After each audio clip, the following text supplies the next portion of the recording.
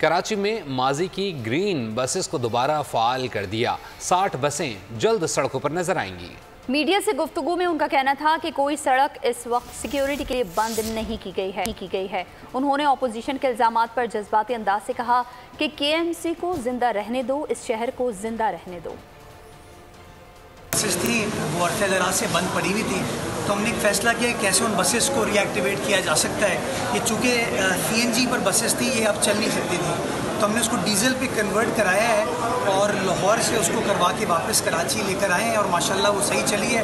अब हमारा टारगेट यही है कि पब्लिक प्राइवेट पार्टनरशिप में कोई ट्रांसपेरेंट मेकनिज़म बना के कराची की सड़कों पर तकरीबन कोई साठ बसेज हैं। शहर में बाई एंड लार्ज इस वक्त कोई ऐसी सड़क नहीं है जिसको ब्लॉक किया गया हो ड्यू टू सिक्योरिटी रीजंस कि के अपना काम करना जानती भी है और काम करना चाहती भी है। हमें वो काम करने दिया जाए, जो हमारी ऑपोजिशन की जमातें हैं, उसके अंदर रोड़े अटकाती हैं। मैं उनसे बार बार गुजारिश करता हूँ कि के को ज़िंदा रहने दो, इस शहर को ज़िंदा रहने दो।